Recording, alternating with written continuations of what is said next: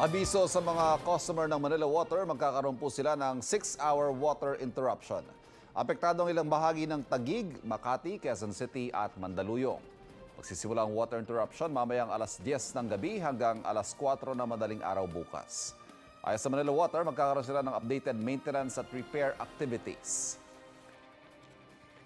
Kapuso, mauna ka sa mga balita. Panoorin ang unang balita sa unang hirit at iba pang award-winning newscasts sa youtube.com slash GMA News. I-click lang ang subscribe button.